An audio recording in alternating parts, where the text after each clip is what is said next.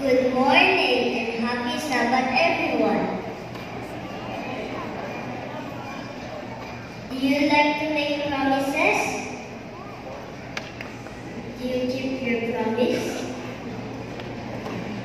There was a Georgian warrior in Israel. Do you know who he was? His name was Jephthah. Long time ago, the Ammonites conquered and defeated the Israelites. The Israelites went to Jephthah and asked for his help.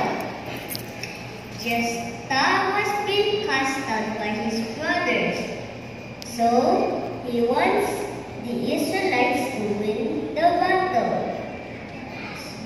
So he would be loved, just like the love he was longing for.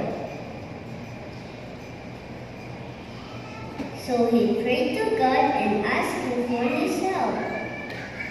He promised God that if he let the Israelites win the battle against the people of Ammon, he would give an offering.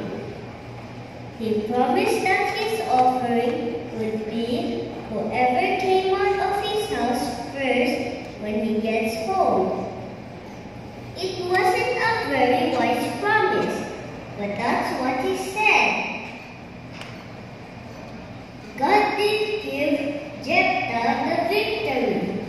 The Bible says that Jephthah advanced toward the people of Ammon and the Lord delivered them into his hands. Judges 11 verse 32. The whole nation celebrated the victory God gave to Jephthah. Jephthah went home after the battle. Who do you think is the first one to meet him? It was his daughter, who was an only child, came out to meet him. Jephthah was so upset. He loved his daughter very much. But we are told that he kept his promise even when it's hard. Can you be counted on to do what you say, like Jephthah?